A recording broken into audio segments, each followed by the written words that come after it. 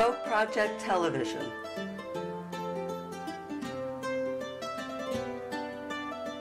Hosted by Joe Guzzo. With music from the Horses Sing None of It archives. Appearances by Mary Flower and Stefan Grossman. And now here's your host, Joe Guzzo.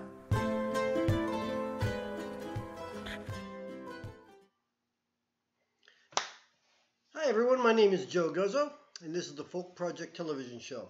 Thanks for joining me today. Well, it's been 77 days since my wife and I have been self isolating. As the days passed, we realized we needed a gentle way to, you know, ask each other how uh, we might want to have some privacy or a little more space and things like that. So my wife had the idea to print up two signs. One said, Please tell me more. And the other one said, I need quiet, please. Both very polite. And she handed me the first card, and as you can see, it says, Please tell me more. Um, the only time I've seen the other one was when she was holding it up for me. So, I, you know, just. Anyhow, I want to take a moment to give my thanks to Ralph Litwin, Sandy Riley, and the rest of the Horses Sing None of It team. Without the use of their archived shows, my job would be a lot harder. Later in today's show, I'm going to be talking about Stephen, uh, Stefan Grossman and showing videos he did for horses in the past. First up, however, we're going to take a, a walk through some of the music from, from Mary Flower. You can find Mary's detailed information online, and let me let you see exactly where that information is here. Mary Flower can be found at www.maryflower.com, or you can email her at mary at maryflower.com. The in October of 2006, Mary was interviewed by Ralph Litwin.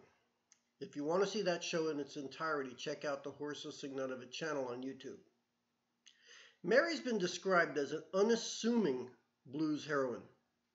Her performances show vast skills, and she's a delight to hear. And what I'd like to do is play the first of her songs that I have for you today, right now.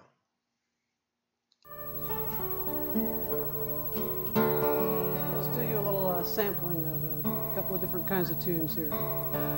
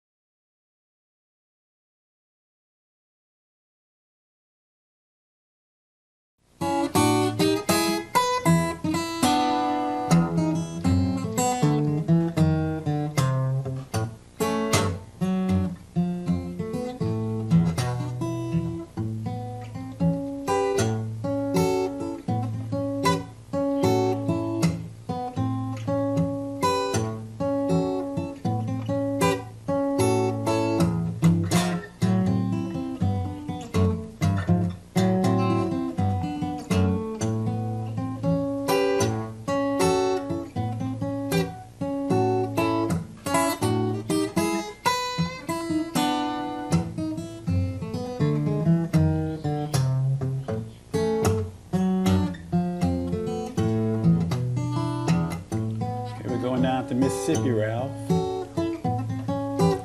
This is where they played the guitar in 1942.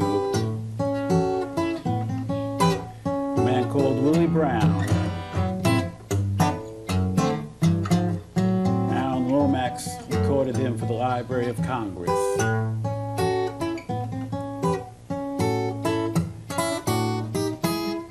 And they called this the Mississippi Blues. Played this as his guitar break. The old boogie woogie.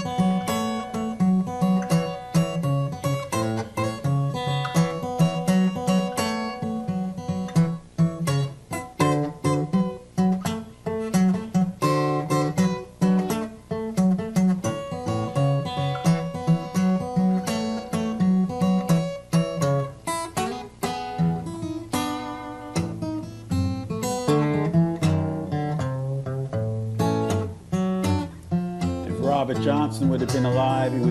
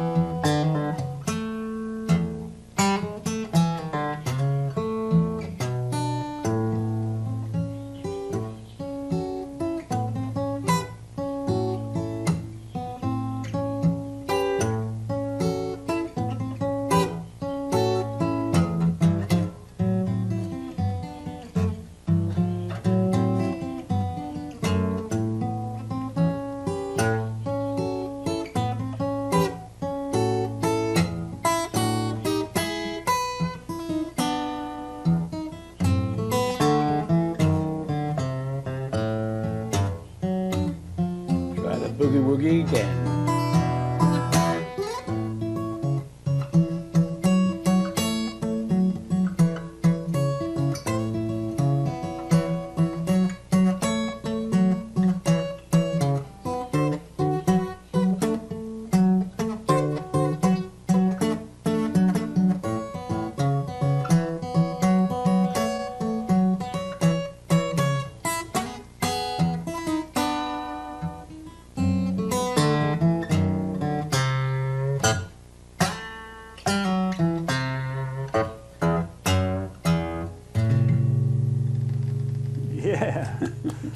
all right, all right, all right.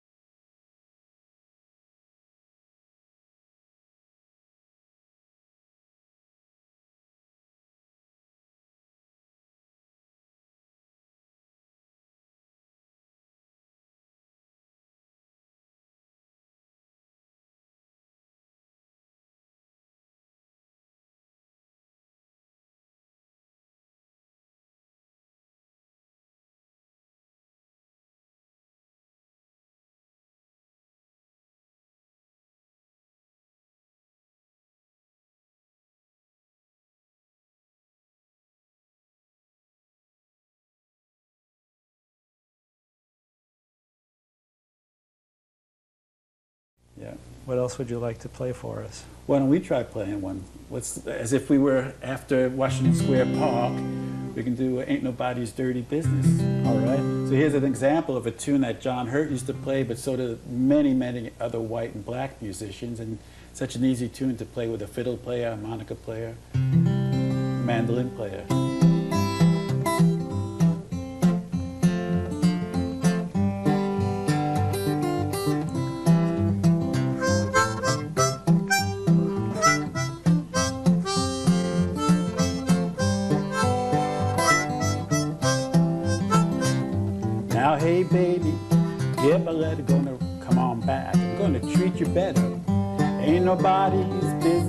I do. I said, ain't nobody's dirty business, ain't nobody's. Ain't nobody's business if I do. Come on. Now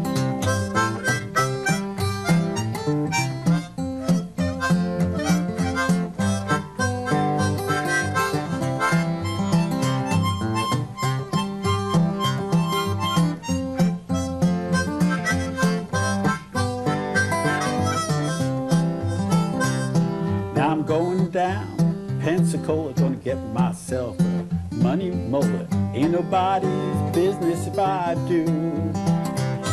I said, ain't nobody's business, ain't nobody's.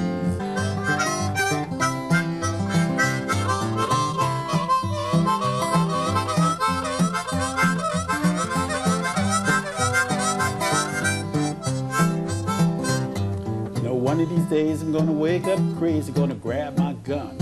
Might shoot my daisy. Hey baby, ain't nobody's business if I do. I said, ain't nobody's dirty business, ain't nobody's. Ain't nobody's business if I do.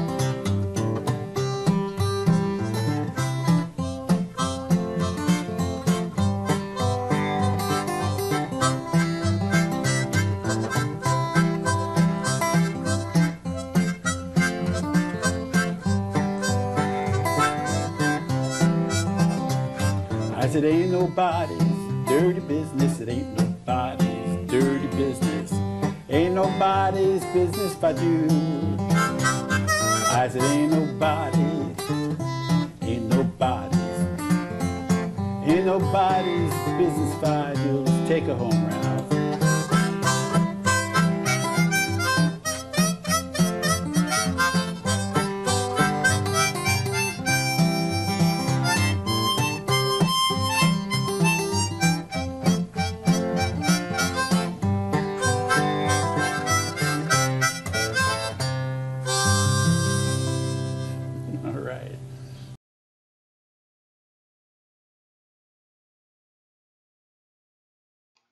Here you go. We have some pretty good stuff going now. Um, I apologize for the volume problem. I just got a note from someone saying that my audio wasn't coming through, so I fixed that issue, I hope. Um, what you're looking at now is uh, a slide where uh, Steve Fahey and Mike Bloomfield, toured along with Steve, uh, Stefan, um, this was in the late 70s. He toured with quite a few very talented people over the years, and during that era, it was these two guys. Um, move on to the next photograph, and we can see here. Uh, here's another one of Mike and uh, Stefan. In 1980s, I guess this was right at right. This probably was the year 1980. Um, Mike Bloomfield and Stefan performed in Bologna, Italy. Sadly, we would lose Mike in 1981 to a drug overdose. Yet the music they made together at the time was phenomenal. Living in Italy proved to be a pleasure for Stefan. He remained there for a number of years. What I'd like to do now is to play one more video of Stefan. So if you'll give me a second, I'll pull him right in here this is sort of the way um, Reverend Davis, who was so influential on my playing and my thinking, he used to use picks, but the picks he would use were a huge thumb pick that he would put in the middle of his thumb and a huge plastic finger pick. And he'd only play with two fingers. And when I asked him, why do you only play with two fingers? He said, well, that's all I need, which was just terrific. and he would say that you want to make the guitar sound like a piano. So here he would play a, like a ragtime tune, sort of like this.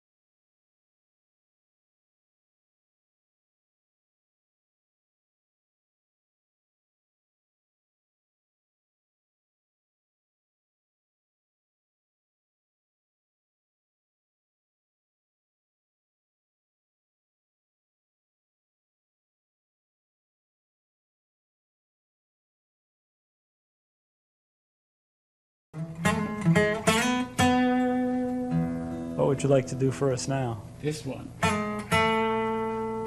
This is where Lonnie played.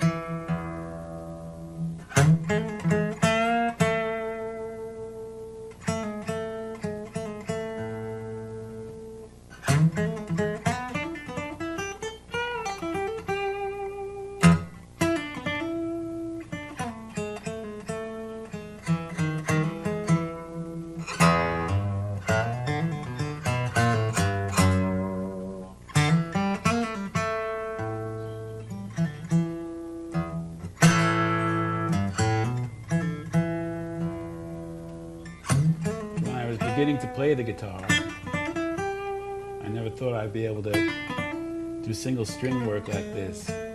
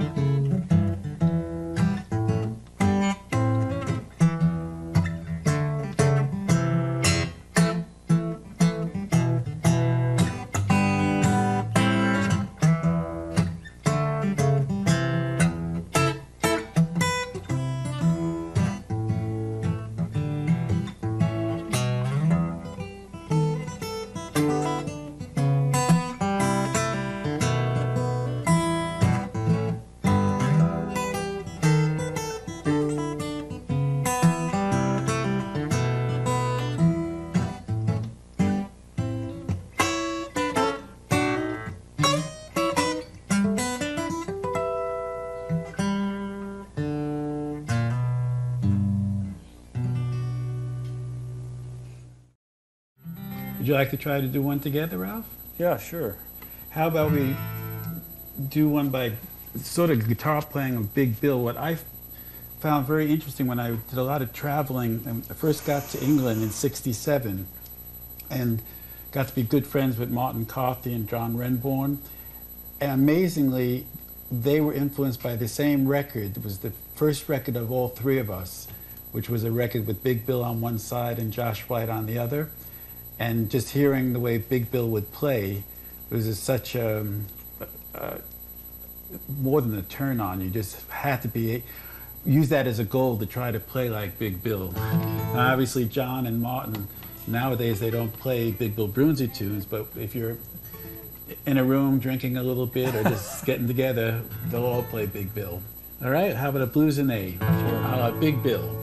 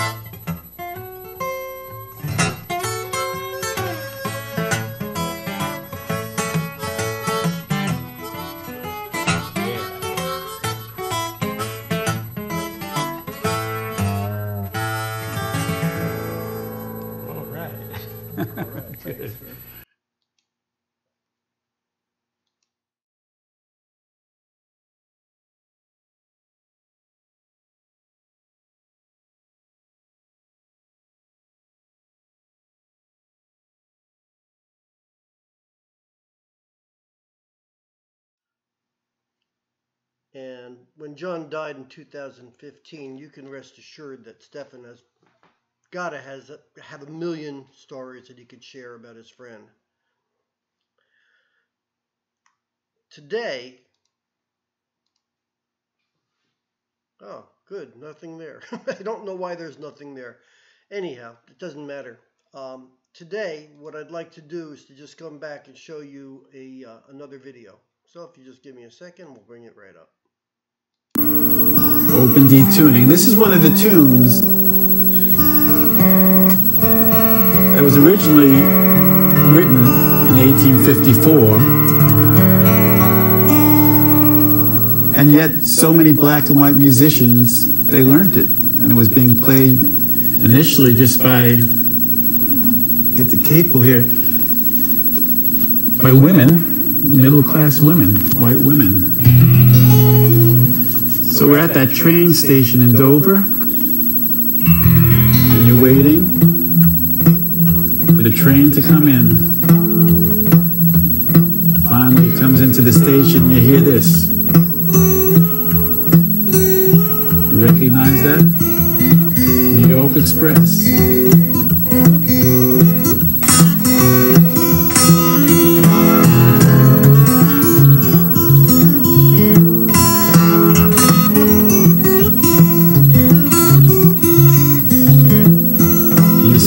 seconds. You blow that whistle, pick up a little speed.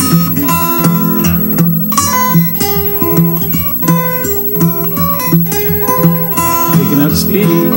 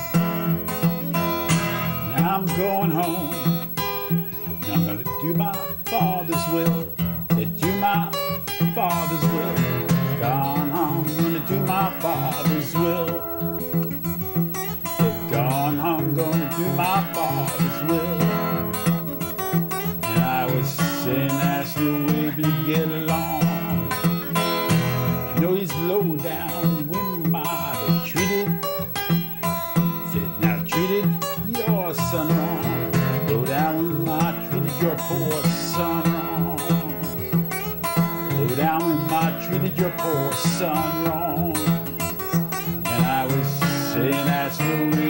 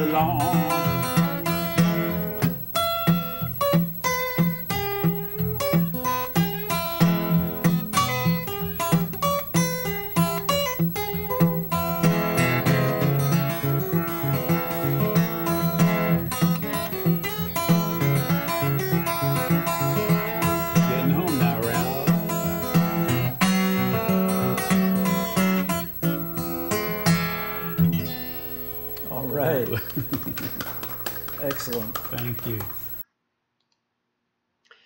Once again, I want to apologize for the issues with the sound. Hopefully, you hear me loud and clear right now. I've enjoyed sharing these tidbits about Stefan with you, and um, I'd like you to do me a favor and send us any comments about the show and ideas for future guests. I read every letter and I try to respond within 24 hours. What I'd like to do right now is to give you a um, URLs for Stefan.